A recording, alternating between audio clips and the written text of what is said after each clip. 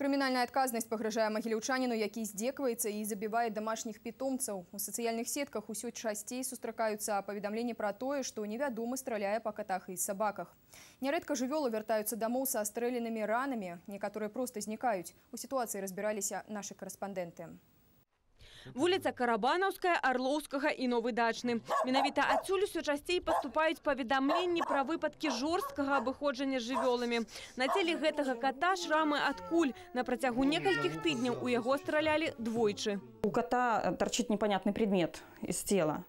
Да, когда она принесла мне кота, достали, соответственно, полю. Где-то, наверное, через неделю кот пришел обратно домой, и такой же предмет мы уже извлекли из него уже из уха. Вот здесь вот.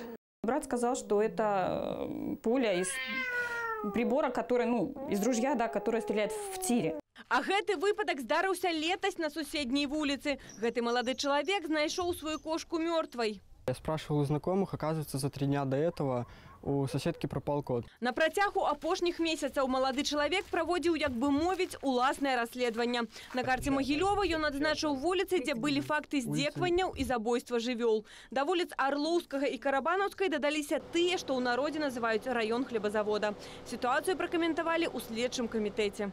Жестокое обращение с животным, повлекшее его гибель либо увечье, совершенное из хулиганских, корыстных или иных низменных побуждений, либо в присутствии заведомо малолетнего, наказывается общественными работами или штрафом, или исправительными работами на срок до одного года, или арестом.